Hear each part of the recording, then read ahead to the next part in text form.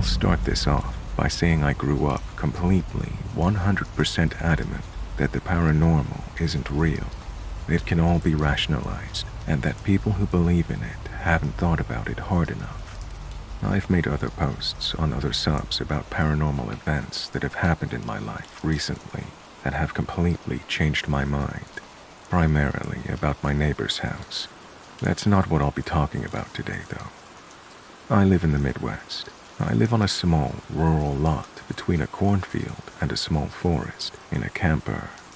I've lived in this county my entire life. I know the entire county like the back of my hand. This being said, I've come to the conclusion that my experience around the rural and wooded parts of this county are crawlers.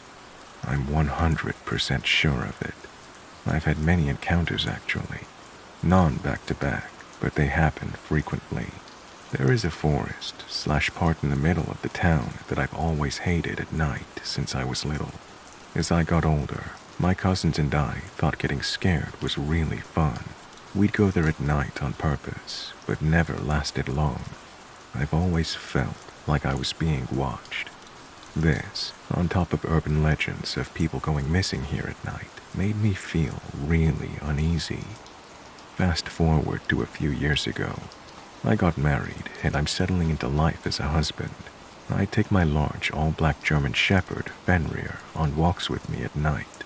I always walk towards the park but I usually don't enter it. The first time something weird happened was five years ago.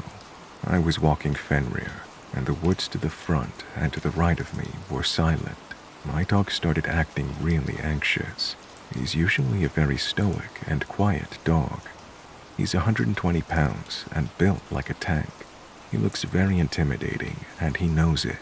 I heard rustling in the woods following me, and I felt like I was being stalked. I ran home, and that's the end of the first encounter. I had a few more encounters like that, but last year, things really amped up. I was on a walk around 11.30 with Fenrir, my wife, and our little newer dog, Booger. He's a terrier Chi mix. We're walking down the same path, and about three blocks away from the woods, four or so deer are sprinting out of the trees into the street towards us and they seem terrified. Then I hear what I can only describe as what sounded like a human trying to mimic the sounds of a monkey. I thought it was silly until recently when I read that other guy's story who heard the same fucking thing. We laughed it off as some kids playing around. Once we get up to the woods and are walking parallel, we can clearly see two reflective eyes and a silhouette staring us down from the tree line. We also heard a deep growl, and then like a hissing sound, but it wasn't really high pitched or anything. Both of our dogs acknowledged this as well. Finn started, and Booger growled a bit. I made a Facebook post on the community's Facebook group, and other people told similar stories around town. Around this time, I got a job as a tour guide slash maintenance for rail explorers. I'm working there again this year as well. We start April 1st. Basically, they take unused or tour specific railroad sections that aren't used federally, and they have these pedal carts with motor assist on them that you can use to explore the tracks. It's really cool and really fun. The one I work at is like five minutes from where I live, and it goes through the woods in an inaccessible part of the county unless you float down the river and hike up steep, loose dirt hills. You go under one old car bridge and you go over two multi hundred foot length old trail bridges. The first one is larger and taller, and it's about 150 feet off the ground above the forest. The second goes over the river. About six months into the job, and it's full. We work until midnight sometimes, with the last tour leaving around 9 p.m. That means the last tour for the last two months of the year are in complete darkness. The way the job operates is with six employees, four get on the lead bike and two get on the rear. From the lead bike, we drop off one person at a busy intersection so they can flag traffic, and one person gets dropped off at the large train bridge that goes over the woods. the person at the bridge gives a short safety speech to the customers who stop and go one at a time over the bridge. The employee carts are much faster than the customer ones.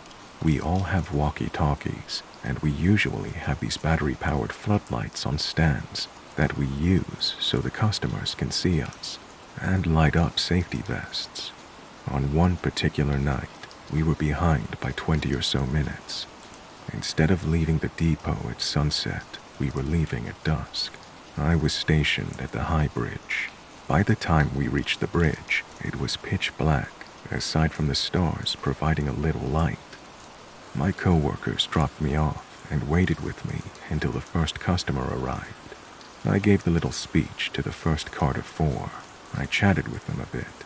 I was trying to buy some time and wait for the next customer cart so there wasn't a massive gap for my coworkers who have to flip the bikes around. After a few minutes, I let these customers leave and I was alone. I was alone for 20 minutes. I used the radio so many times, but it was static for everybody. It was one of the only times we've ever had an issue like that as well. I kept seeing movement in the tree line. I kept hearing fast footsteps all around me in every direction. I had the floodlight on above my head so everyone and everything could see me, but I couldn't see shit. I turned off the floodlight and used my personal flashlight. I kept seeing quick glimpses of pale skin moving quickly, but right when I started seeing stuff, I could hear the next customer cart coming close. So I turned the light back on and waited for them to come around the corner. When they pulled up, I noticed they had a little boy with them, and he's scared of the dark. I'm terrified at this point, but I have to act appropriately even more so because of this boy. I don't want to scare him.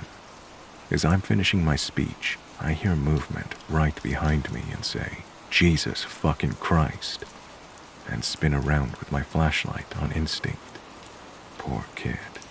I told them it was probably just a deer, and they're good to go across the bridge. That same night, the person stationed at the intersection this isn't like an in town intersection, it's very rural. It's right next to a massive cornfield. He's Native American and was very in tune with his culture. He told me privately a few weeks later that he heard rustling in the cornfield, and whatever was out there was whispering his name and trying to get him into the field. He was also without communication for those 20 minutes, but he wasn't in the woods and he could see a lot better than me. Another time, that same coworker and myself were headed back on the front cart. We were away ahead, so we stopped the cart in the middle of the high bridge. It sounds scary. I'm a bit afraid of heights, and this bridge has massive gaps between the planks that you could fit through. But after doing it so often, you do get used to it. It was a clear night, and we were watching the stars and making small talk. All of a sudden, it goes silent. We're a hundred and so feet in the air above the woods. We can hear for miles. The dogs barking across the river two miles can be heard without even seeing the houses. We hear what sounds like a human mimicking a monkey noise, and we hear growling. He looks at me completely seriously and tells me in a stern tone that we needed to get out of there right now. I drive the fuck out of there and he moved states to Nevada shortly after this. A few other things happened here and there, and to coworkers as well. Each of my coworkers have at least one story. I'm only sharing mine in this post, otherwise it'd be too long. A few months go by, and it's late fall, around the middle of November. I drive through that park in town a lot when I just want to go for a drive. I had my dog, Fenrir, with me, and it's around 2 a.m. I can't sleep, so I'm listening to a Melvin CD and driving leisurely through the park. As soon as I get past the entrance gates, I feel really uneasy and weird. I'm not easily scared. Going to that park at night makes me feel a primal fear. It's beyond fight or flight. I've never felt that way in my life anywhere else, ever. and I feel it every time I'm there.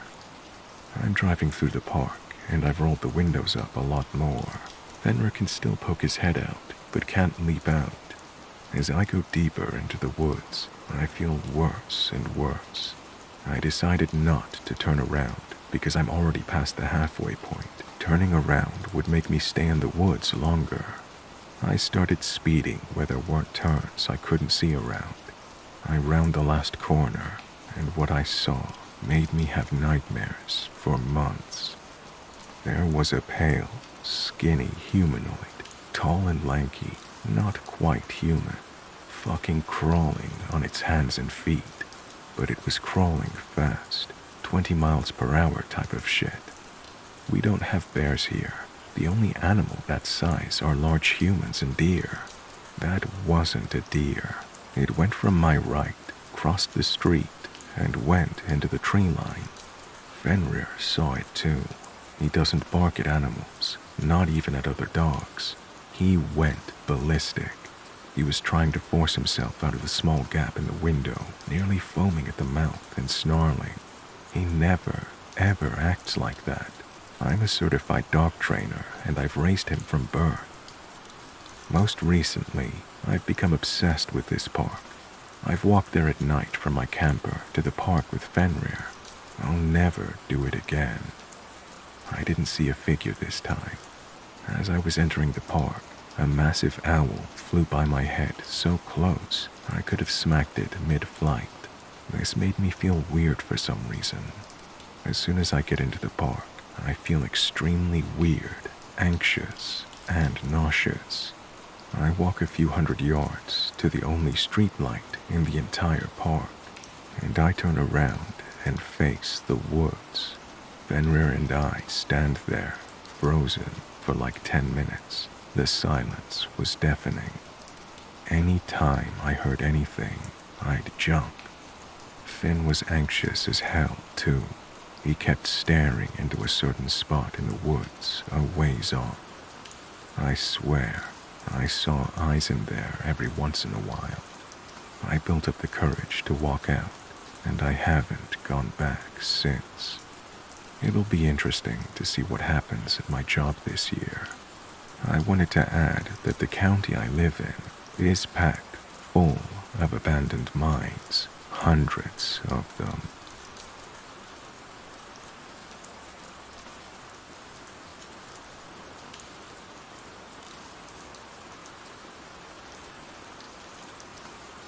This is a story that pops back up in my mind from time to time.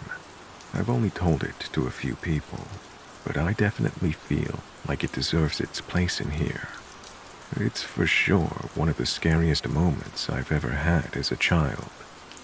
Back when I was around 10 years old, my mom finally decided that it was time for her to start lessons for her driver's license. When she began taking lessons, she was struggling a lot for that reason, my dad decided that he wanted to do some practice with her besides the official driving lessons with her instructor, just to make sure that she'd pass the upcoming test first try. My little brother and I were attending swimming lessons at this nearby university at the time. Behind a forested area near the university lays this huge student parking area surrounded by trees, which turned out to be basically empty every weekend my dad saw the opportunity to take my mom here to drive around for a bit and brought my little brother and I with them, since we were too young to stay home alone. We brought a football with us. When we arrived at the parking lot later on in the evening, my parents began their practice. My little brother and I quickly got bored though, and we asked if we could go over to this little grass field on the side of the parking lot to play some football. My parents let us since they'd always be able to keep their eyes on us whilst driving around. After playing for some time, my parents ended up driving around in the other end of the parking lot. They were approximately three to four hundred meters away from my brother and I. Suddenly, this white Toyota pulls into the parking lot. We were playing almost right at the entrance slash exit. The car turns around and stops on my side with the vehicle facing the exit. The driver rolls down his windows and presents himself as Thomas. He looked friendly, was good looking, and young. I would guess around 30 years old. This is where things started to get weird. On the passenger seat was a woman covering her face with a newspaper. All I could see was long blonde hair, and on the back seat was a baby sat in a baby chair. Thomas immediately states that he's from the police and that we have to get in the car immediately as he has to talk to us. My brother actually took two steps towards the vehicle, but I stuck my arm in front of his chest as I was sensing something was off. The woman was still covering her face at this point, not saying a word. Thomas then raised his voice and told us once again to get into the car, or else he'd have to come out and get us. My brother and I froze out of fear. Suddenly, the woman put down the newspaper, showed her face, and told us in the most calm motherly voice to just listen to the man. The woman looked young, pretty, and like a person who wouldn't hurt a fly. At this moment, I began screaming as loud as I could. What we hadn't seen at that point was that my dad was already running as fast as he could towards us. He was coming from behind the vehicle, so we didn't see it. My parents didn't have time to drive to us since the road down the parking lot was twisted all the way. When my dad heard my scream, he started yelling as loud as he could. Hey, who the fuck are you? Get the fuck away from my children. As soon as Thomas heard my dad and realized my brother and I weren't alone, he threw his car into gear and took off as fast as he could. He most definitely looked like a person who shot himself when he saw my dad. My dad was furious and told my brother and I to hurry up back to the car. He didn't even think about calling the police at that point. He wanted to beat the guy up himself. That resulted in us driving around for the next hour trying to find him before my dad cooled down and decided that he should probably just call the police. We never found out who these people were, but this episode taught me to never judge a book by its cover. People can be the most friendly looking people in the world and still wish evil upon you or the ones you love. I'm not sure what these people would have done to us. I'm sure about one thing though. They definitely weren't from the police.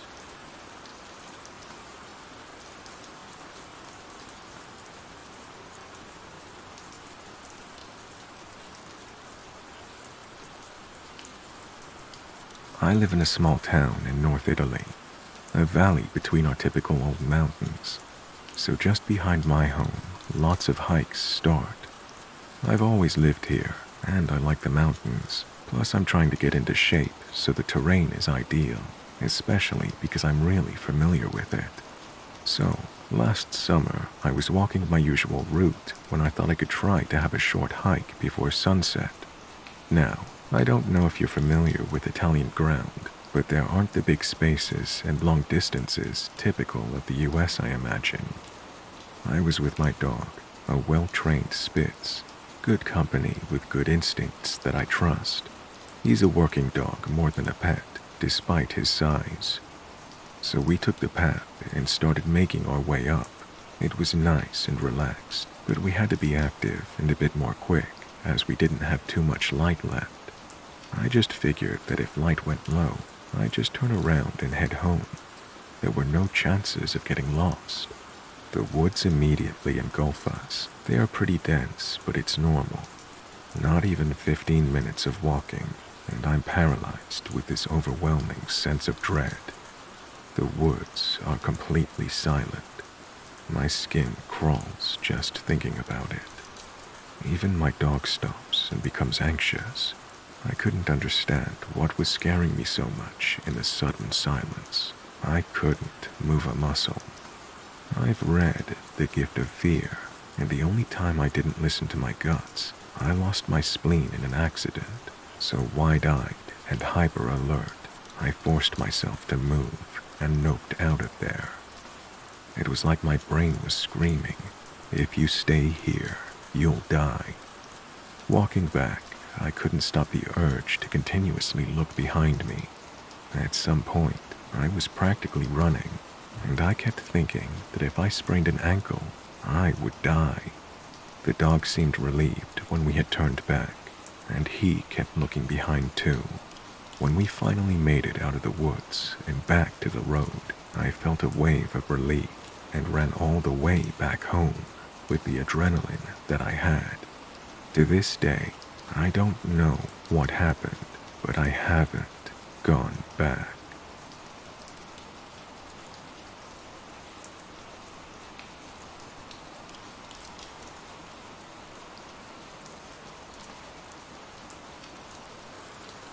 So, this isn't something that I've witnessed.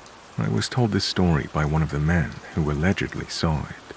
For context, this guy had run with some questionable crowds and did what jobs he had to to make money at times, if you get my drift. This guy has lots of stories. I mostly consider this a tall tale, but there is still enough of it that makes me wonder what if.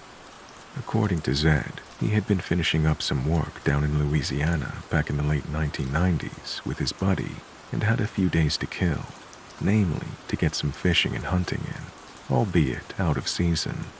One of the guys they had worked with gave them directions to a spot way back in the swamps and marshes that they could use without risking being caught by fish and game agents. He said one of the best things about this spot was there were, oddly enough, never any alligators there. A bit of a red flag, that one. Anyways, one fine morning, they set out in their boat before the sun was up, navigating their way through the swamps. From what he described, this was a section that was close to the Mississippi border, routes used by smugglers to move various products across state lines. They finally arrived at the spot after a few hours and some detours. They turned off the motor on their boat and started fishing.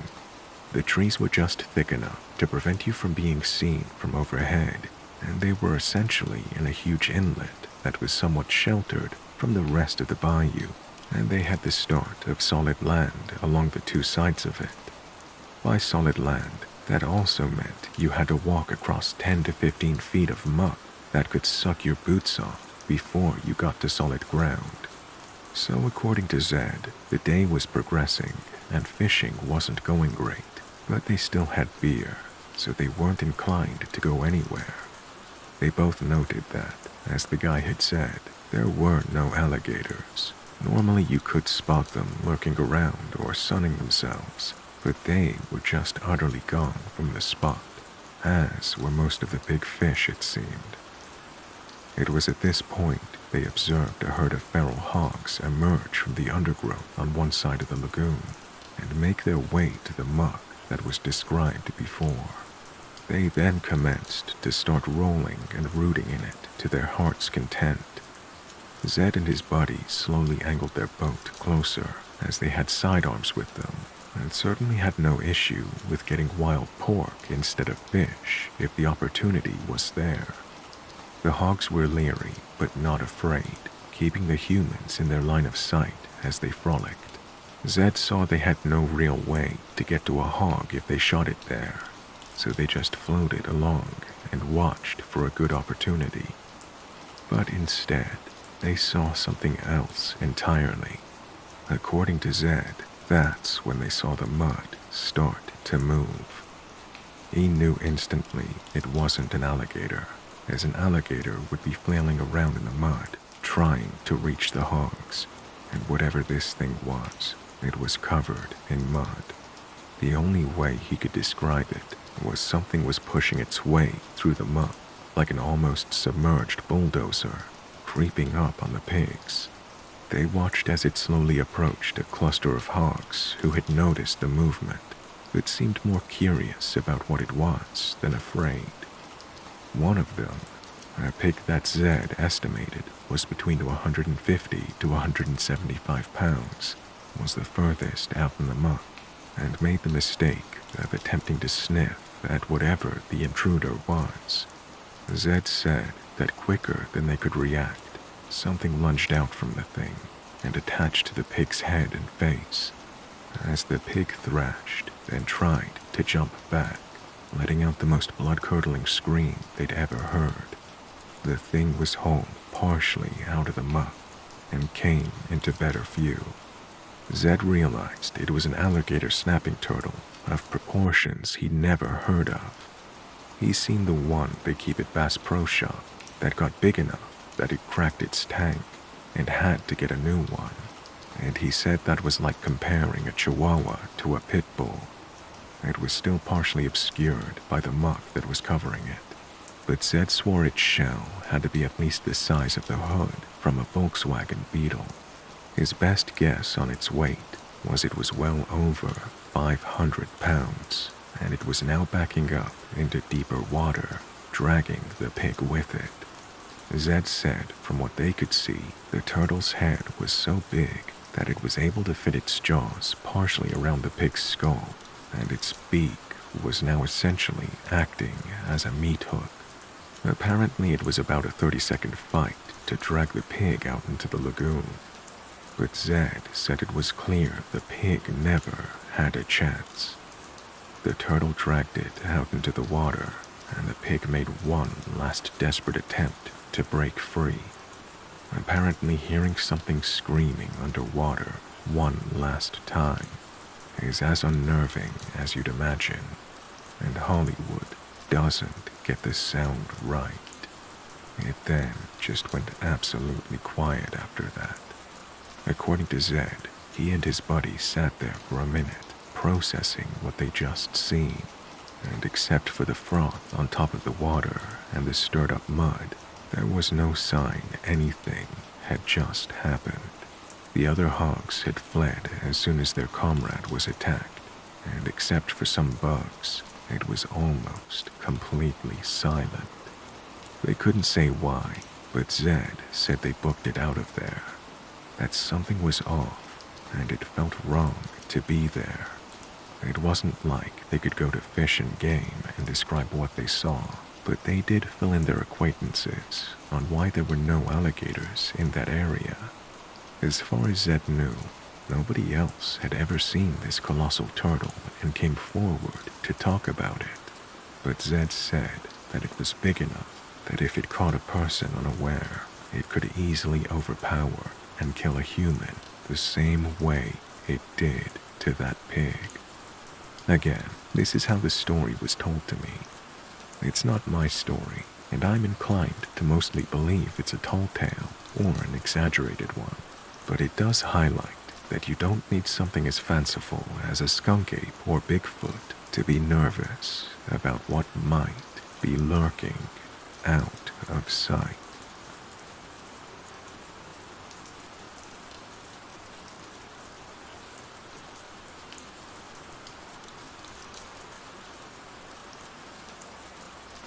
This just happened about 15 minutes ago, and it's one of the weirdest encounters that I've ever had.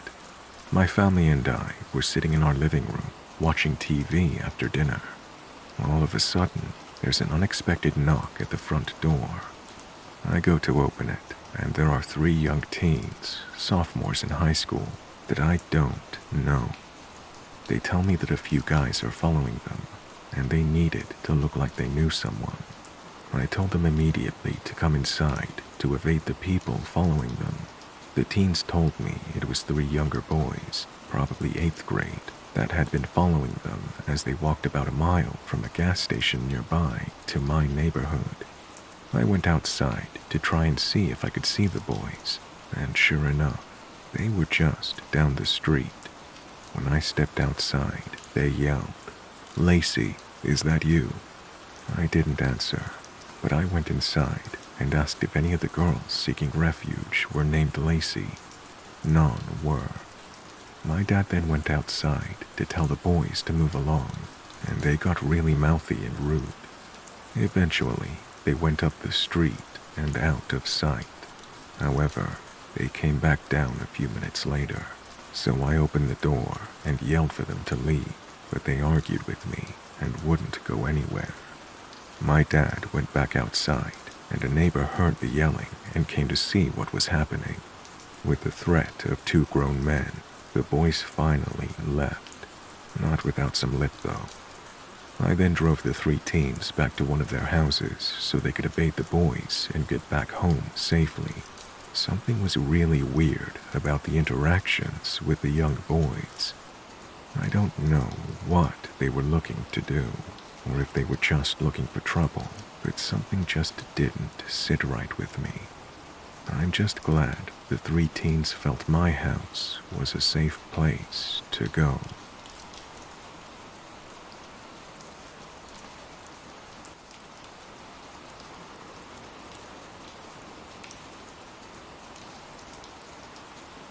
I don't know what it was, but it scared the fuck out of me. Basically, I was an 18 year old who smoked weed in my car because my parents were strict as fuck. I had smoked for years, so I knew what the effects were. And yes, smoking and driving is bad, but you tell that to an 18 year old. Anyway, I went to a local spot which was near my house in suburbia, but up a really long hill. It was a lookout on a hill in a remote area. The only way you'd get there is by car. It was the best place to smoke because it was remote. Anyway, I get there and there are no cars. It's late at night and dark. I put on some music and set up my bong.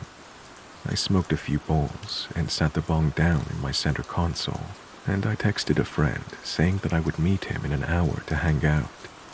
I sat there looking into the darkness, and you could see the sky as well from where I was sitting. It seemed very peaceful all alone. Next thing I know, I hear a stick crack about three meters from my car, like someone had stepped on it. I flicked my lights on so I could see, and there was nothing. I freaked out a bit, but I eventually calmed down and took another hit. Just as I went to pack another bowl, I heard another stick crack, but this time it sounded closer. I flicked the lights on again, but there was nothing. That's when I looked towards the night sky and I see a human looking silhouette stand up. It was unmistakable. Someone or something had been watching me for the past 30 minutes. I started the car, slammed it into reverse, and noped out of there. As I went down the hill, I remember the bong sitting there. I needed to pack it away, but it was loaded. I stopped at the start of a fire trail. I figured why waste good weed and went to finish what I'd packed. And just as I lit it up, I heard the gate behind my car rattle. Then I heard a noise on the back of my car. Again, I noped out of there as fast as I could, packing the bong up as I sped down this hill. I got to my friend's house and told him what had happened.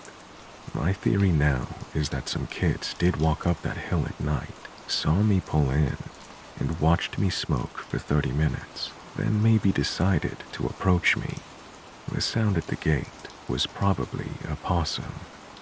Either way, it haunts me to this day.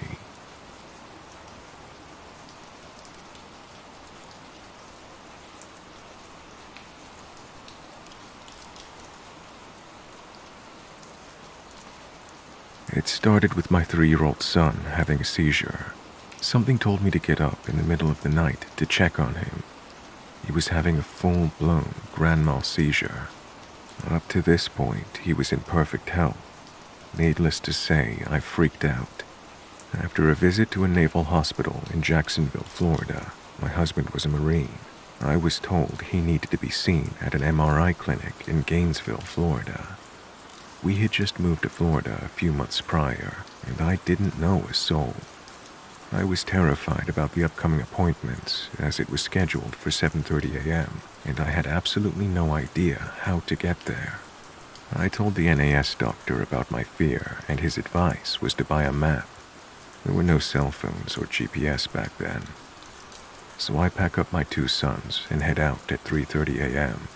I plan to stop at a gas station and either buy a map or ask someone if they knew the way to the Naval Hospital Gainesville MRI clinic.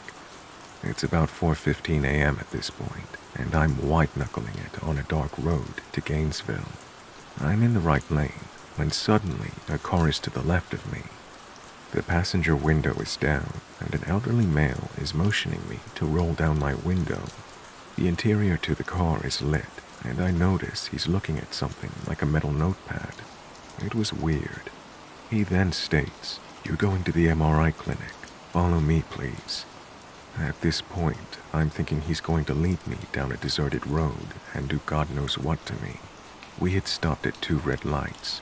And I wanted to ask him how he knew where I was going. He didn't ask, he knew, but I was too frightened to get out of the car. So I follow him. About 30 minutes later, he came to a stop and pointed to the building. He led me right to it. I looked at the building and then back towards the car. I wanted to get out and thank this kind stranger. Only there was no one there. No car, no taillights from a distant car, nothing. I can remember this like it was yesterday. I'm not religious, but the only thing that makes sense about this was that it was a guardian angel. My son was diagnosed with a type of epilepsy which he outgrew in his teens. I did ask the doctor in Jacksonville if he sent someone to help me. He just laughed.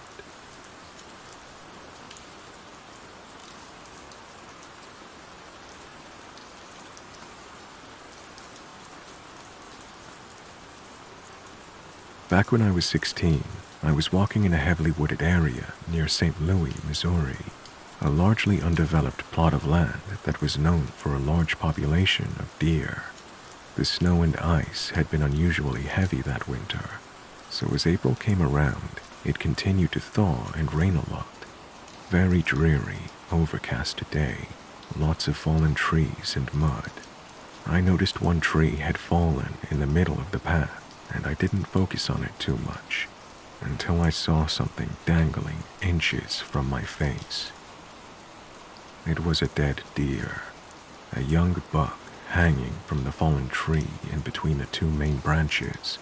The hooves had been dangling inches from my face because of how zoned out I was, not processing anything because of the sense of security I felt in those woods.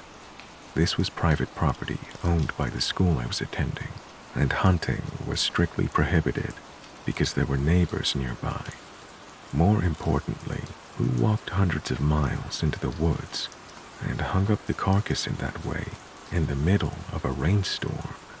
School sent its security out. They figured it was illegal bow hunting, but the deer was never recovered.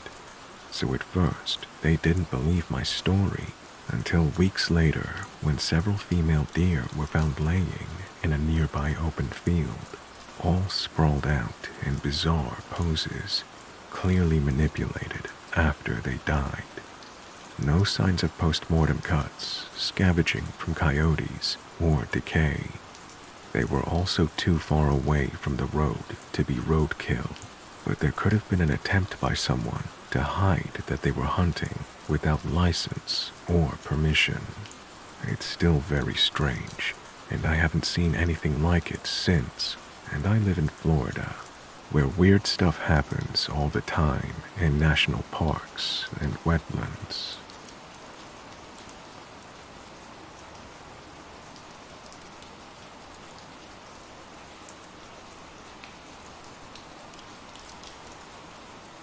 One weekend, I was coming back home to my dorm after spending the weekend at my dad's house when I remembered I didn't have milk. So I decided to stop at this little gas station next to campus. The second I walked inside, my spidey sense tingled. There was a man, probably in his 50s, who locked on me immediately, as in completely unabashedly stared at me from the moment I walked in. I swear, it could only have been creepier if he'd licked his lips, but I saw he was in line to check out, so I figured I'd duck into the ladies' room and he'd be gone by the time I was out. No. When I came out of the restroom, he'd gone out of line and was stalking around the aisles, still watching me as he walked back up to the checkout. I got my milk and was a couple people behind him in line, trying not to freak out. Then, when he checked out, he took his bag, walked out, and stood next to the exit door, still watching me. Thank God for the clerk who noticed what was going on and said, Do you want to stay in here for a while? I'm sure I was shaking like a leaf when I nodded, but fortunately, there was no one behind me. So the clerk let me stay there and chat until the guy finally got into his truck and drove off. That was almost 15 years ago, but to this day, I believe that guy meant me harm. I've never been so freaked out in my life.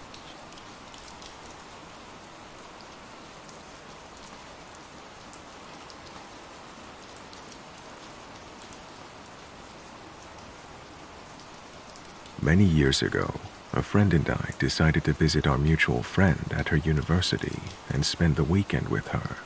We had extremely detailed directions to follow, and we were told the trip should take about three hours. While nothing went wrong on our drive, it seemed to take forever. I don't remember exactly at what point the woods started, but I do remember traveling through these woods for a long time, perhaps an hour. We were already well past the three hour time frame my friend had given us by the time we left the woods. When we finally reached my friend's college town, it was nearly four and a half hours since we left. We didn't get lost. We never hit traffic or stopped for more than a few minutes, but we quickly forgot about it since we were happy to spend the weekend with our friend. When the trip back was a little over three hours, we thought it was weird, but didn't think much of it at the time. It wasn't until my next trip to visit that I realized something had been strange. I spent that whole next trip waiting for the long path through the woods that we'd been on the first time but they never appeared. Following the same directions as the first time, the entire trip took me about three hours, as did every other trip I made out there in the following years. I don't know what happened, and I've never been able to replicate it. I still wonder what happened and where we really were when passing through those woods.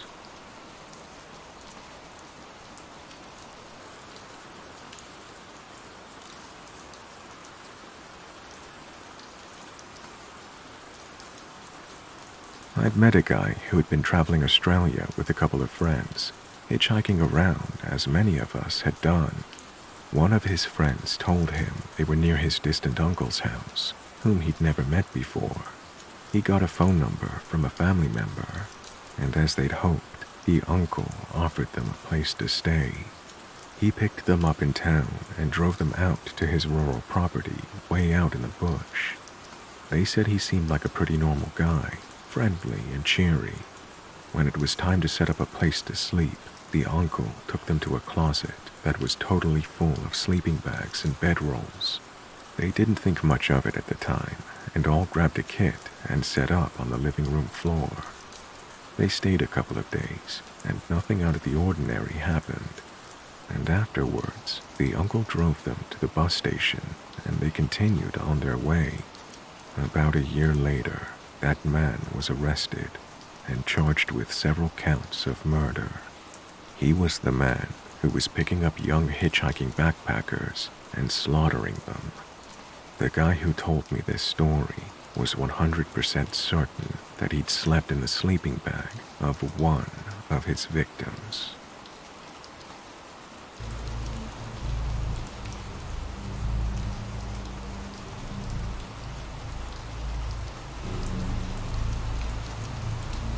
Hey guys, I hope you enjoyed that.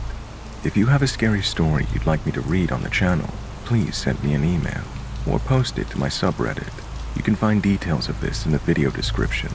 It's the stories that make this, and this is the best way to ensure variety in the stories I share. Thank you all for listening, and a special thanks to my channel members and patrons who now have special access to ad-free videos and other behind-the-scenes content. Shaz, Betty Brantley, Candice Lee, Africa Winfield, Becca, Lydia Adams, Girl Veteran, Legends CBZ 69 2012, Katrina King, Hospital Cakewalk, Dirty Diana, Quinta Siegel, Shirley Porch, Taylor Ruist, Annalisa Petrie, Jasmine Davis, Janelle Jensen, Jasper Roth, Alex, Monica Levalace, James Gargano, Sarah P., Fire 05, Matt is a Felter, Tierra Sanders, Melissa Kingery, Kitty Cat Luna 2, Chelsea Moffat, Ryan, Gabrielle, Jenny, Sarah, Zep Tepe, Sarah C., Sam, Amanda Jane, Vampy Debs, October Gypsy, Rebecca, Erica B., Maribel De Luna, Lloyd Rash, Jennifer Jenkins, Kelly Townsend, Mary Wright, Tara Harris, Elizabeth Knapp, Eddie, Sean Gorman, Sue Gordon, Spider's Web, Kay, Christy, Absinthe Alice, Dina Kingery, Snowball Rathina, Lady Drackard, Brenda, Pretty Girl 215, Amber Davis, Sigma Cube X, Letitia Acklin, Ali O'Neill, Gina Eberhardt, Lilypad, Ashley Nicole, Sarah Chifalo, May 2nd, 2003, Bella Plays 2006, Skin Crawler, Stephanie McLaren, Borderline Betty, Kuro, Top Up, Kelly Ann Bain, Michael O'Malley, Neil Kavanagh, The Dead Movie Society, Diana Johnston, Taya Adwell, Danielle, Possum Posse, Crafty Kell, Brooke, Scott McKenzie, Megan Abrams, Jane Wiggins, Jasmine Davis, Jack White, Your Pappy's Dilly, Emma Lisa, Tanya Ferguson, The Wendy, Ember Hops, Alexia Tuttle, Ram Beltran, Elizabeth Mayers, Unladylike 13, Pegasus Genesis, Sheila Grant 44, Sona, Scout Mom 405, Cheryl Duckworth, Ashley Bray, Angela Reeves, Kim Thompson, Brock Bollard, Nick Bigdowski, Jessica Lasley, Yennefer, Clarice Scott, Timothy Stratton, Melissa Kingery, Shane Stevens, Serge Vargas, Bart in Real Life, April Jordanet, Lisa Prentice,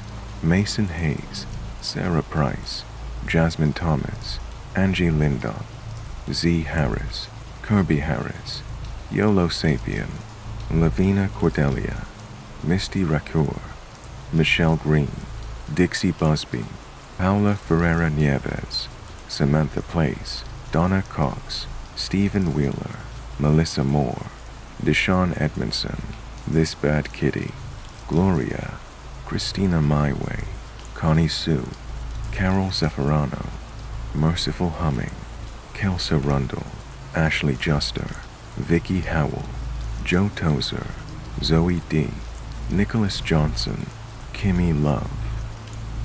Once again, thank you guys for listening. Have a great night.